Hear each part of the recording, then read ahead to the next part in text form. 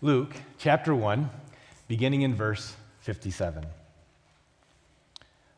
When it was time for Elizabeth to have her baby, she gave birth to a son.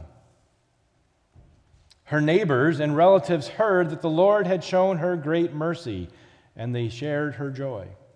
On the eighth day, they came to circumcise the child, and they were going to name him after his father Zechariah. But his mother spoke up and said, No, he is to be called John.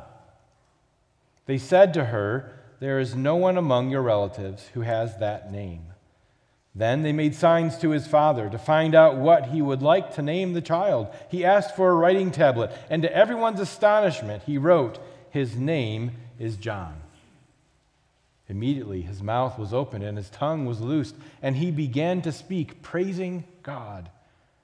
The neighbors were all filled with awe, and throughout the hill country of Judea, people were talking about all these things.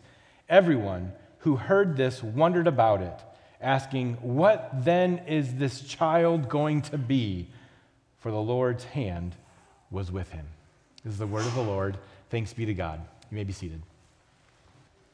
Heavenly Father, we give you thanks for your word. We ask that you would not only bless as we have heard it read in our ears, but that you would bless the imprinting of it on our hearts.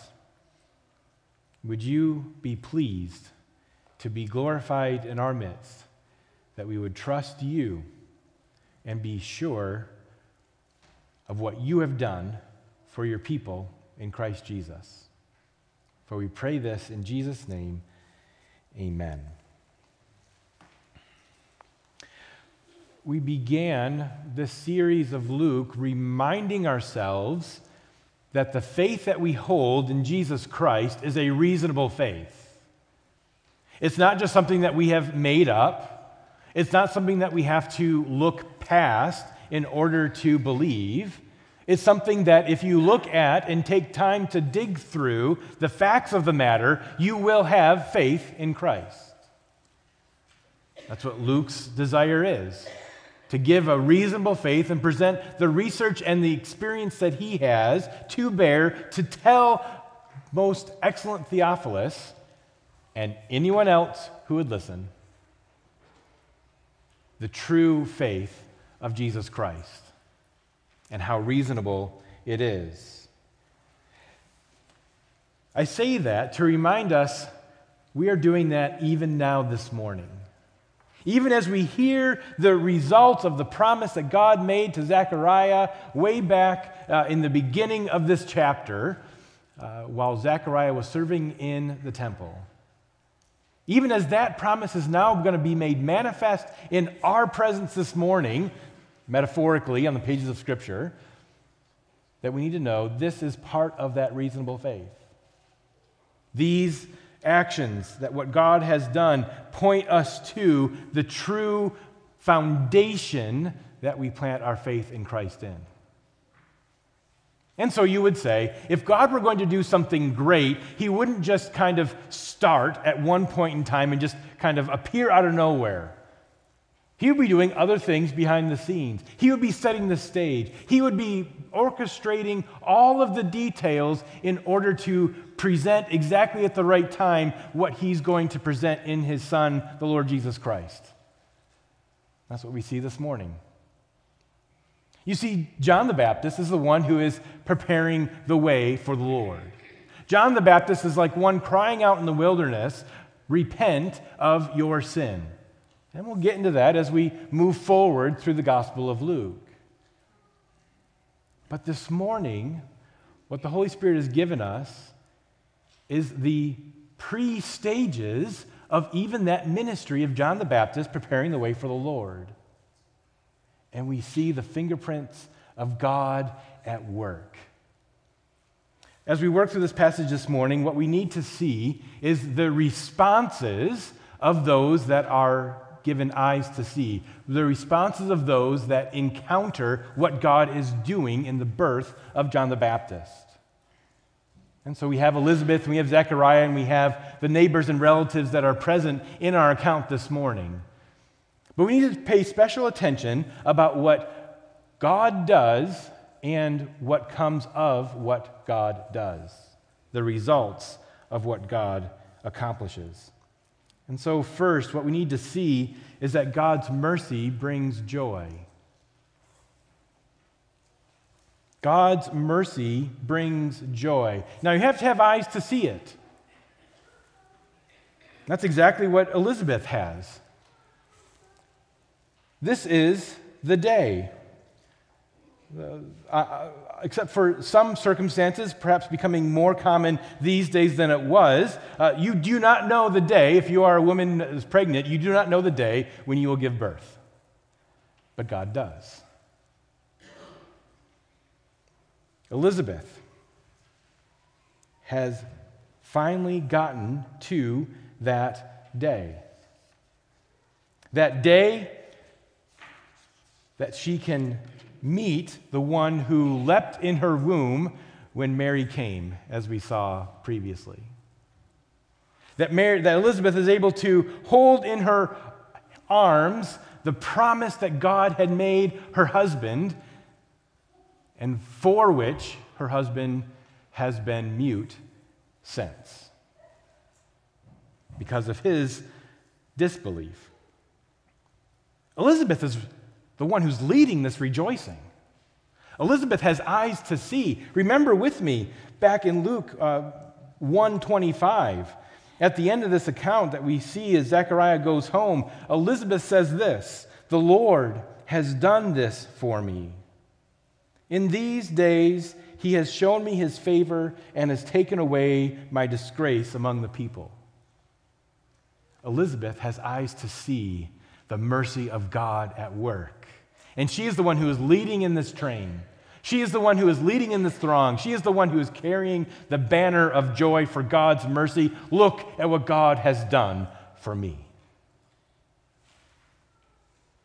But notice the, the neighbors are, are in this as well. They are encouraged. Um, they are wondrously seeing what Elizabeth has, uh, what has happened to Elizabeth they're giving testimony to that mercy. They are coming and they are showing, uh, as Luke records for us, they share in exactly the same sentiment of what Elizabeth has. The Lord has shown her great mercy, and that produces joy.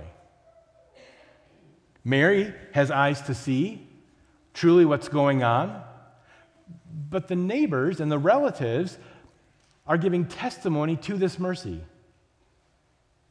Now, if you do the math in this,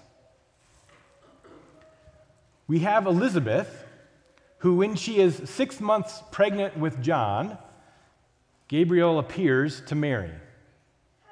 And Mary goes to Elizabeth in her sixth month. And Luke records for us that Mary, in verse 56, right before the, the verse previous to what we read this morning, Mary stayed with Elizabeth for about three months, then returned home. Luke does not record for us Mary's presence at the birth of John the Baptist. But can you imagine Mary going home right before the birth?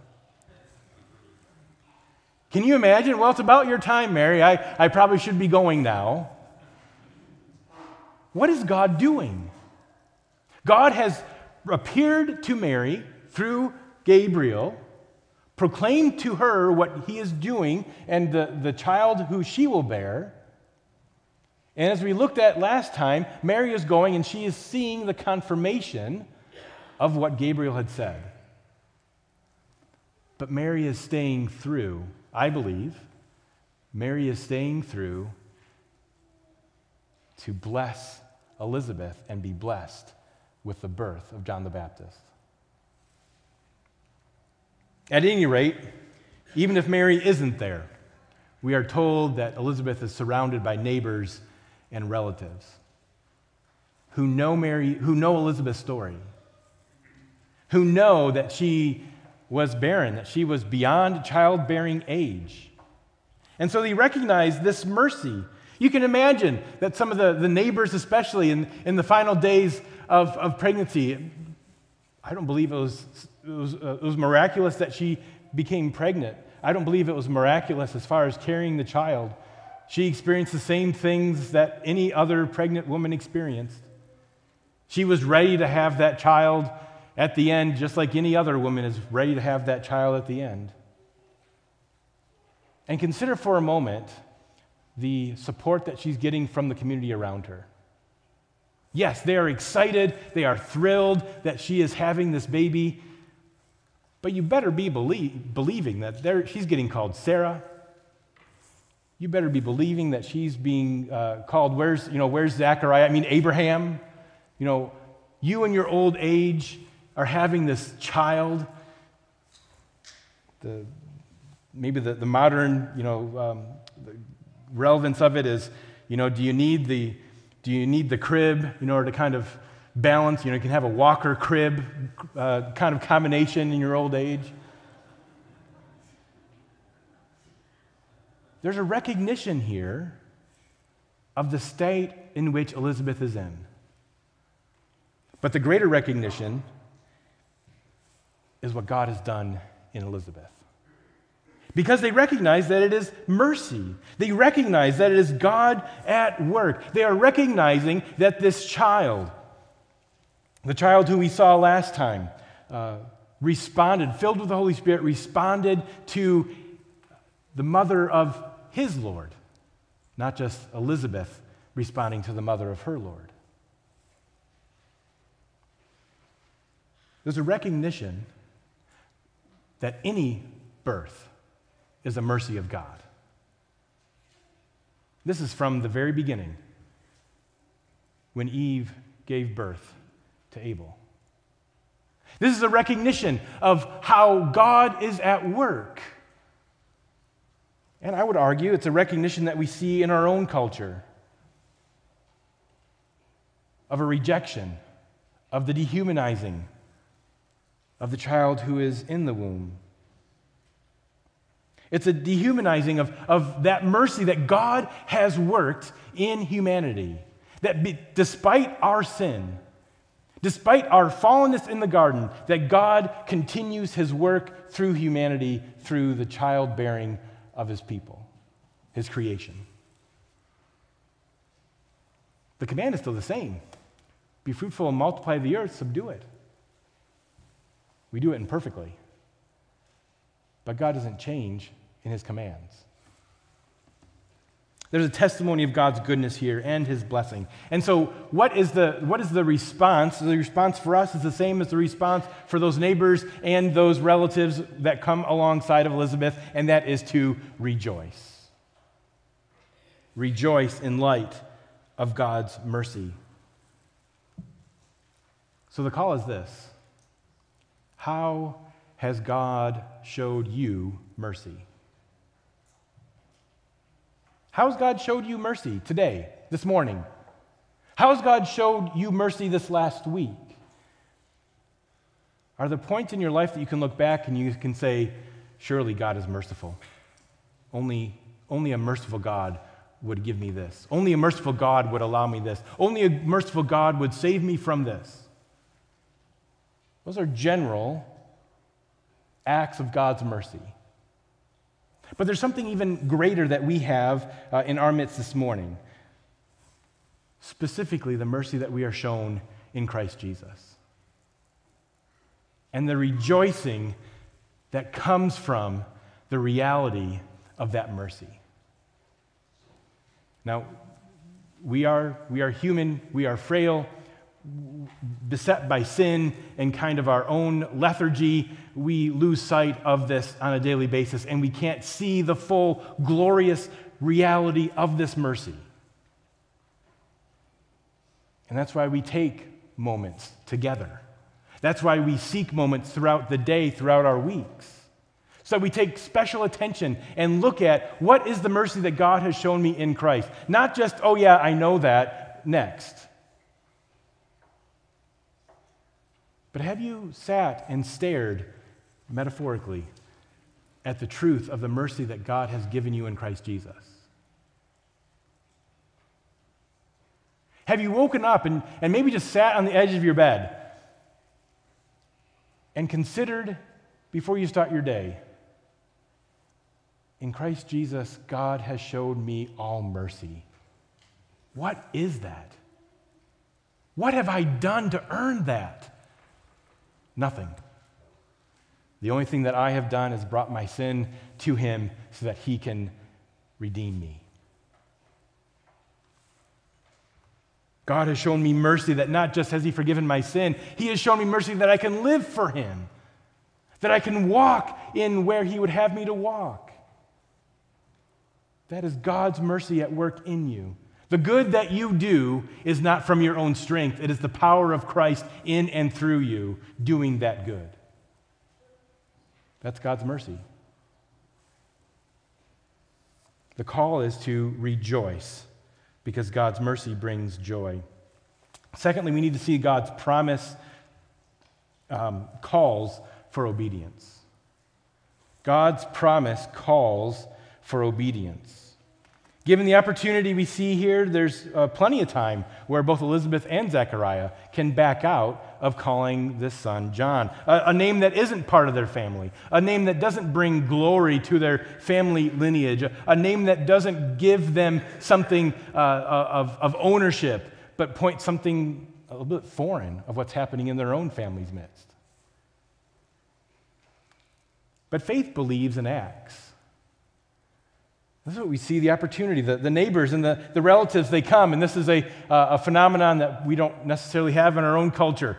Um, that on the, uh, on, the, on the eighth day uh, and, and the circumcision happening for a firstborn uh, son or any son, that the whole um, uh, village turns out. That's not something that we normally do. But it's John, in, in accordance with the command of the Lord, that on the eighth day he would be circumcised. Elizabeth and Zechariah are obedient. They are following what God has called them to do.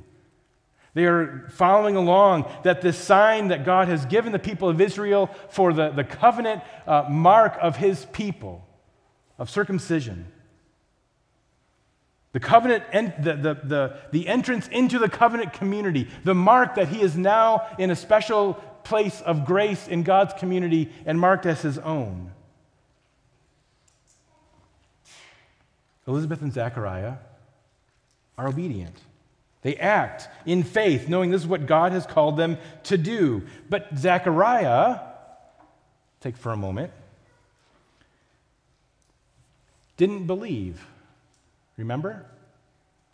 Remember verse 20, we read this And behold, this is Gabriel talking to Zechariah, and behold, you will be silent and unable to speak until the day that these things take place, because you did not believe my words, which will be fulfilled in their time. And he was silent. And this perhaps is a blessing for pregnant wives.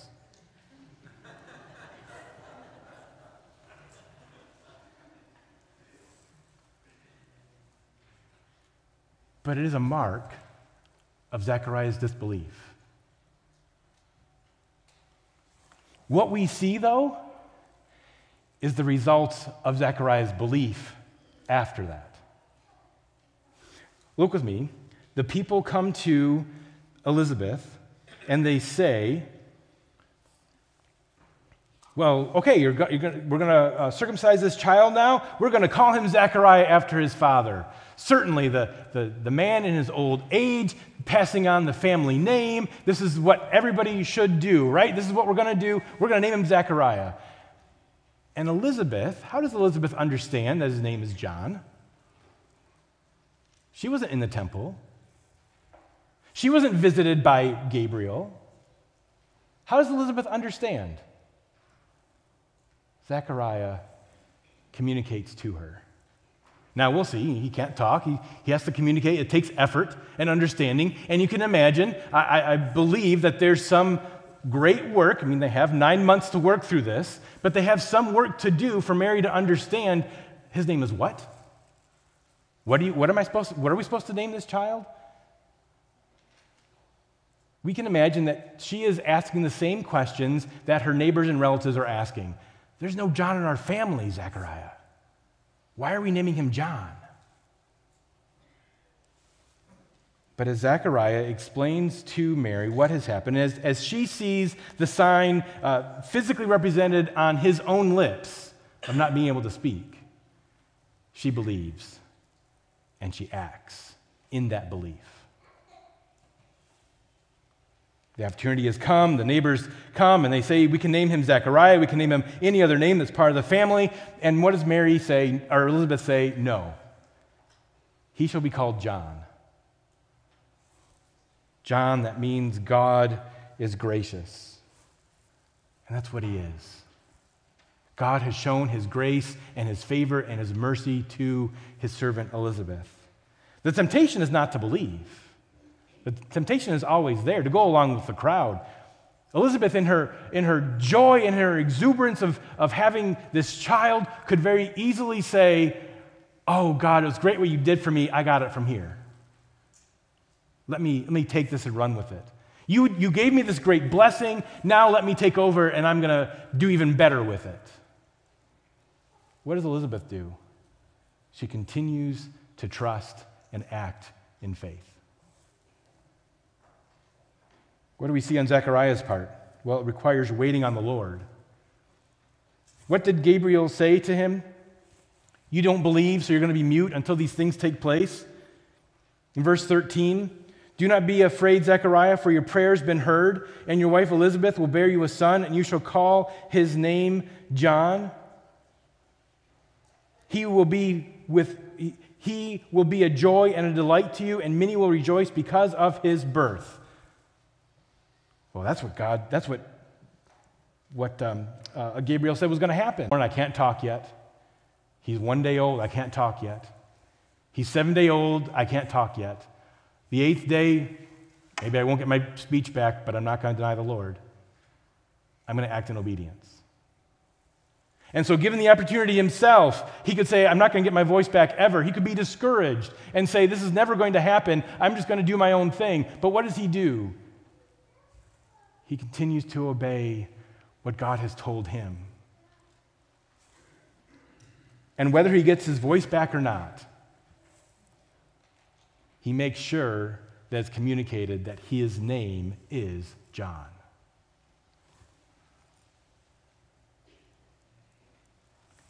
God's people don't always respond in obedience.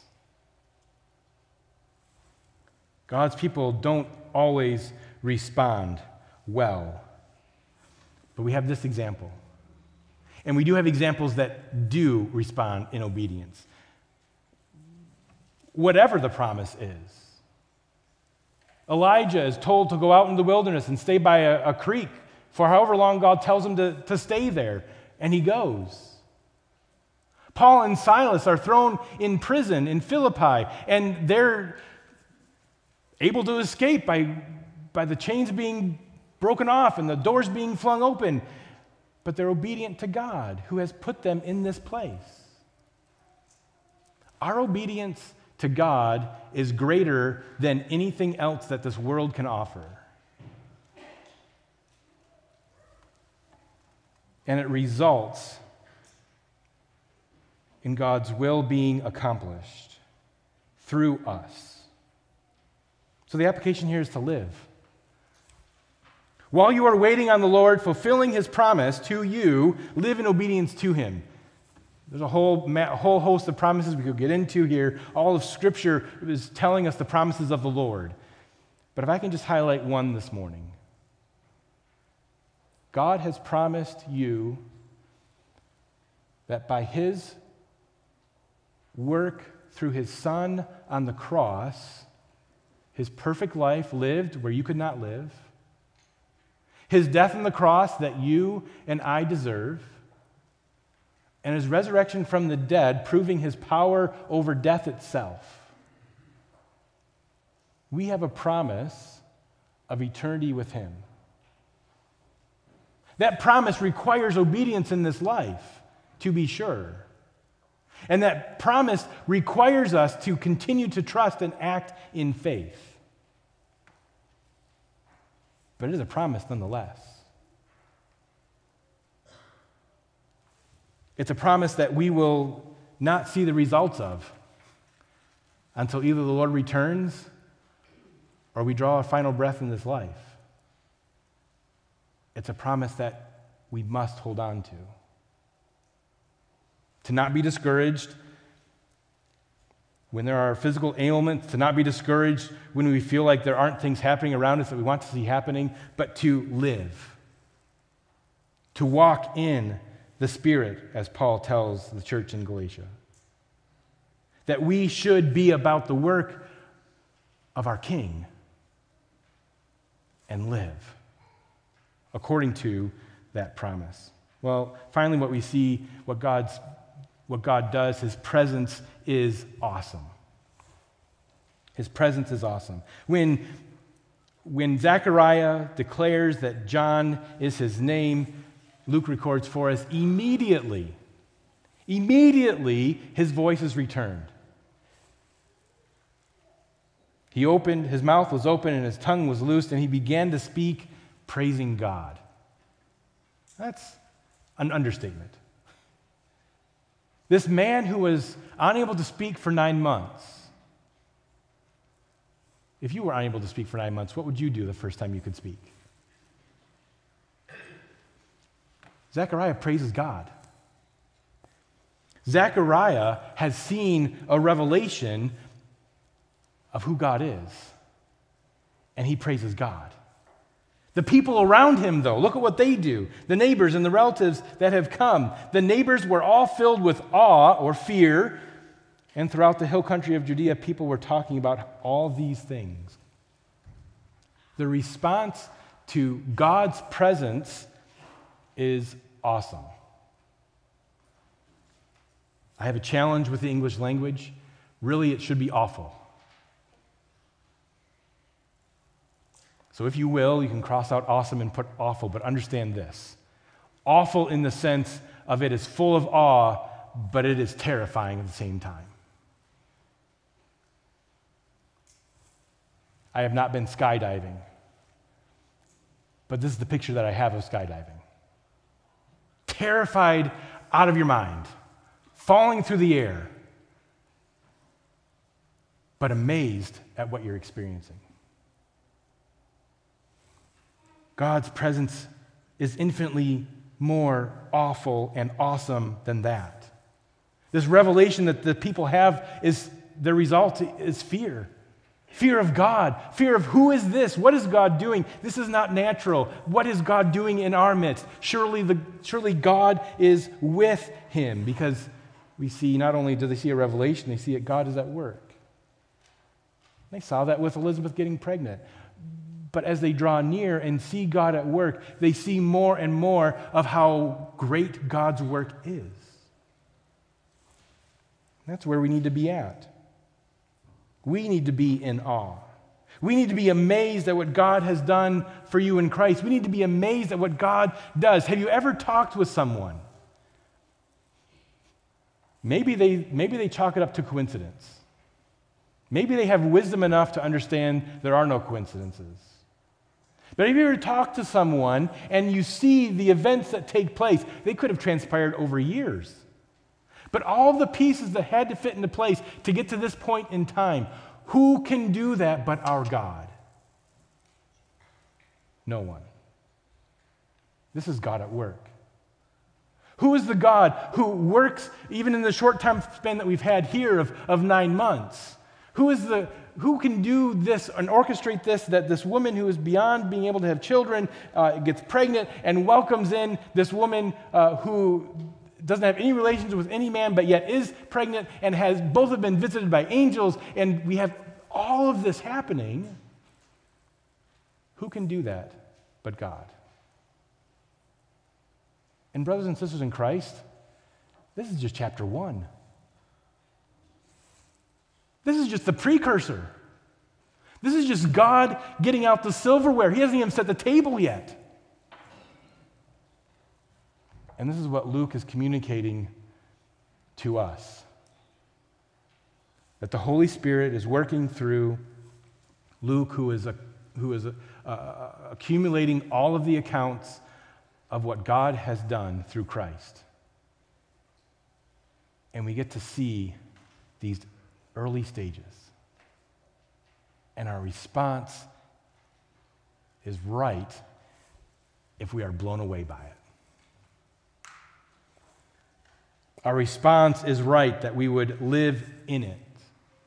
Our response is right that we would take great joy in what God and only He can do. In this world, we're going to have trouble. That, there's no bones about it.